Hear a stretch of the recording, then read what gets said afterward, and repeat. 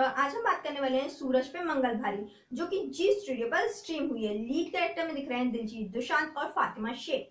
कहानी का story plot follow करता है सूरज को, जो कि 28 साल का बैचलर लड़का है। पंजाबी फैमिली से बिलोंग करता है, अपने पापा का दूध का बिज़नेस संभालता है और फाइनली अभी तक उसकी शादी नहीं हुई है। अब उसकी शादी तय हो ही रही होती है कि उसकी शादी टूट जाती है और फाइनली अब उसने निकाला है रास्ता कि आखिर उसकी शादी किसकी वजह से टूटी और पता चलता है कि उसकी शादी टूटी है।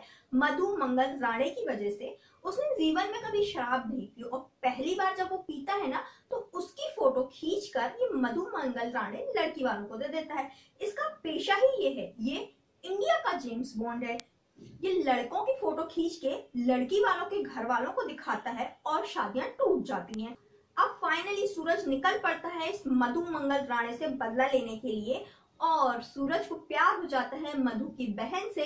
अब अभी तक तो ये बात मधु को नहीं पता और फाइनली सूरज उसे फ़ोन करके बता देता है। और ढेर सारी कॉमेडी ड्रामा और बहुत सारी चीज़ें होने के बाद आप फ़िल्म का क्लाइमैक्स देख सकते हैं। यहाँ पर वो कॉन्सेप्ट दिखाया गया है टिपिकल पंजाबी फैमिली वाला और टिपिकल मराठी फैमिली वाला। जहाँ मधु की टिपिकल फैमिली मराठी होती है, वहीं सूरज की टिपिकल फैमिली पंजाबी होती है। और जब दोनों का फ्यूजन होता है तो वो भी अच्छे तरीके से दिखाया जाता है।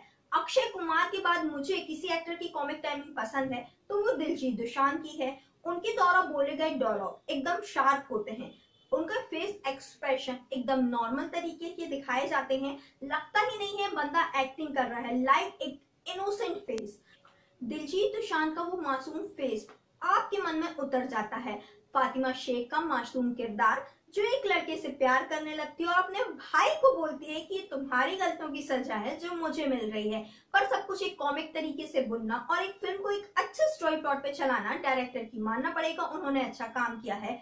आप जब खाली पीली खाली पीली को देख सकते सूरज मंगल भारी को भी देख सकते हैं। एक परफेक्ट कॉमेडी फ़िल्म है। हाँ अच्छा एंटरटेनमेंट है। जी स्टूडियो पर अवेलेबल है तो आप इसे वहाँ से देख सकते हैं। यदि मैं अदर फैक्टर की बात करूँ तो सेट लोकेशन में अच्छा पैसा खर्च किया गया है। हम बोल सकते हैं भाई दिलजीत, जो कि अपने कपड़ों पर इतना पैसा खर्च करते हैं बजट भी काफ़ी हाई रखा गया है। एक्टर्स के कॉस्ट्यूम से लेके सेट लोकेशन पर अच्छा काम किया गया है। अगर मैं कैमरा क्वालिटी की बात करूँ तो कैमरा के वो शॉट्स जो दिखाए जाते हैं ना, कि एक टिपिकल पंजाबी फैमिली दिखाते हैं और टिपिकल मराठी फैमिली दिखाते हैं तो वो टंग का फ़र्क और जो लैंग्वेज यूज़ की जाती है, एकदम प्योर मराठी, फिर वो पंजाबी बोलते हैं, जो फ्यूजन दिखाया गया है वो अच्छे तरीके से दिखाया गया है। एक्टर की परफॉर्मेंस उमदा है।